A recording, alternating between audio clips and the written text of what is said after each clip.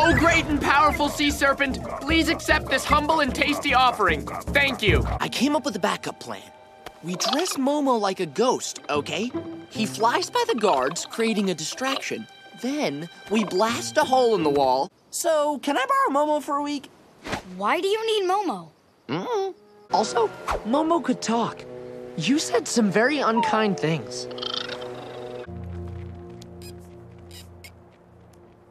Momo, you have some big ears. Nice underwear.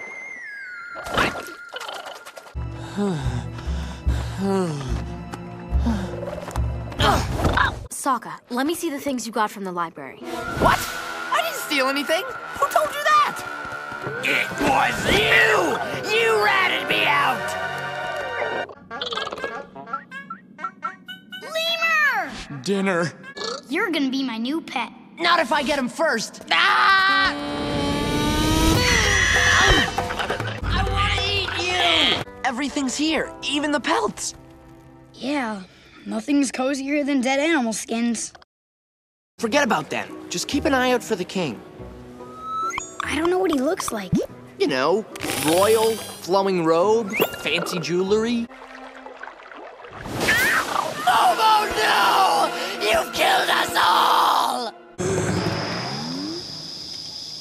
It doesn't even work. See? Even Momo thinks it's a piece of junk. You two behave. Appa's in charge.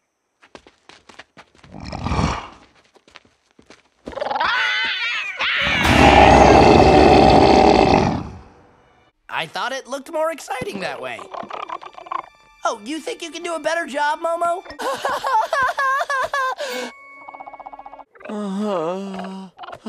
what about Momo? He's the real victim here. What was I thinking? I don't need a new bag. Climb on, everyone. Sokka is ready for takeoff. Katara, take Momo and get out of here. Go! So what, I'm just a lemur sitter? There, there. Feel better?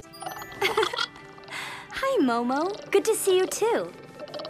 Why don't we ask the circle birds?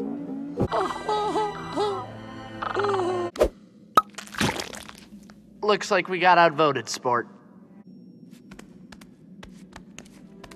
Um, mm, mm, Looks like you made a new friend, Sokka.